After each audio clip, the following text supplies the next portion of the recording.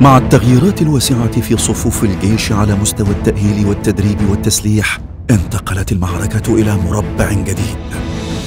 في 4 يوليو وصلت أسلحة أو بعض الأسلحة للمدفعية آه، من التي تم التعاقد عليها وبدأت سلاح المدفعية يقوى على الضفة الغربية للقنال فصدرت تعليمات بقصفة شديدة على المواجهة بالكامل.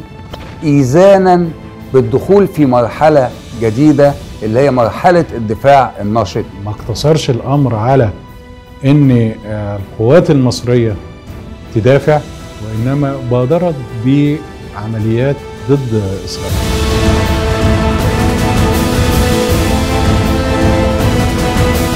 في الثامن من سبتمبر أيلول من عام 1968 أصبحت المدفعية المصرية مؤهلة لشن أكبر قصف نيراني بطول الجبهة وعلى عمق عشرة كيلومترات في توقيت واحد ولمدة ثلاث ساعات متواصلة.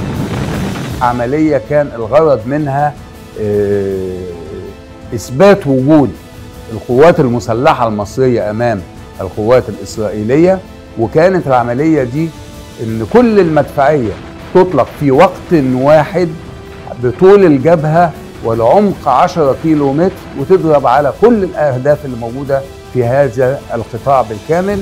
وهذا تم على أكمل وجه وهذا اليوم يعتبر في القوات المسلحة المصرية يوم المدفعية وده كان يوم 8 سبتمبر آه، سنة 68